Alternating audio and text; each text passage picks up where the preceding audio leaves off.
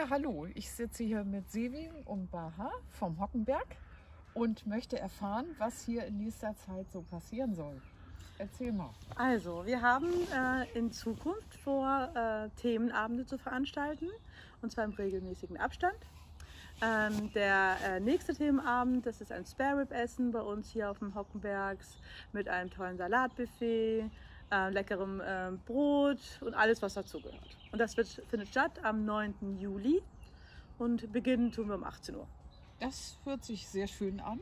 Ich glaube, das wird für die Leute interessant. Mhm. Äh, Das wird sicher nicht die einzige Ja. Veranstaltung sein, sondern ihr plant sicher immer mal wieder etwas Neues. Ja, Äh, In welchen Abständen? Ja. Und äh, habt ihr euch schon bestimmte Themen überlegt? ja also wir hatten äh, tatsächlich haben wir schon angefangen. Also Mhm. wir hatten schon einen Barbecue-Abend und hatten haben morgen auch einen Scampi-Abend. Mhm.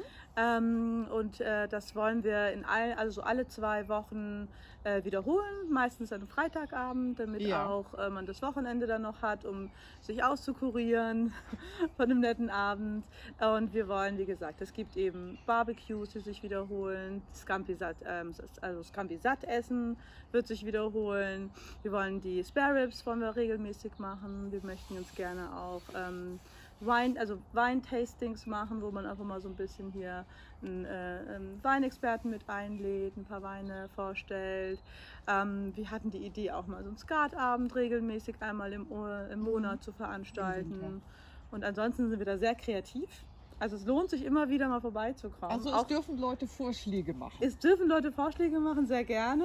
Ja. Und äh, es ist auch so, dass wir wirklich ähm, natürlich auch die Mitglieder hier gerne sehen, aber auch Gäste, die einfach so mal vorbeikommen wollen. Das ist so eine Wunderbar. schöne Terrasse, das wäre eine Verschwendung, wenn man das nicht macht.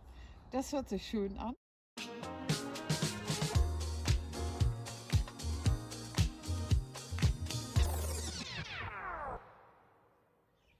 Ja, um kein Video von uns zu verpassen, muss man unten bei YouTube die Glocke drücken. Ähm, wir freuen uns auch über ein Gefällt mir und wer mal selbst ein Thema hier erörtert haben will, der spricht uns gerne an und für Vereinsvertreter ist das sogar kostenlos. Wir freuen uns, wir sehen uns.